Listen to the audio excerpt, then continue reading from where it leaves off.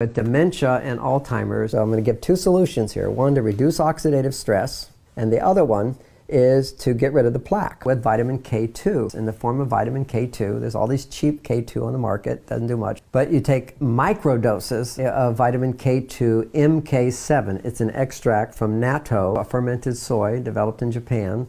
And MK7, you take 600 micrograms a day with 10,000 IUs of vitamin D in order to take the plaque out of your brain.